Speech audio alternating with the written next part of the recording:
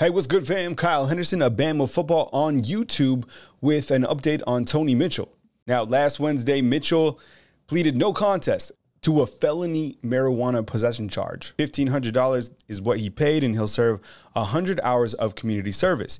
Now, Mitchell is enrolled at the University of Alabama. He never stopped taking classes while he was suspended from the team.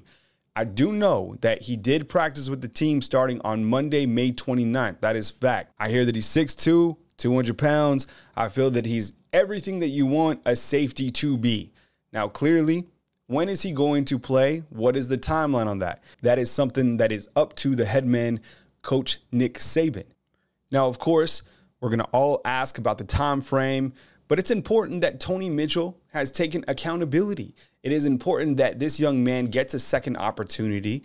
And I think it's all up to Tony Mitchell from here on out. And he is going to have to prove himself to get on the field.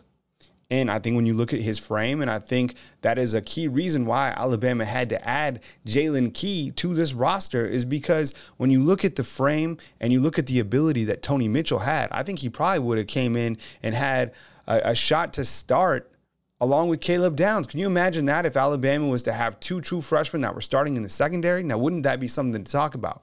Now, Tony Mitchell He's done what the courts have asked. He's done what Nick Saban has asked, and they're going to be tight lipped. And I get it, and they have to. It's part of the brand, and he has to continue to be accountable for what he did.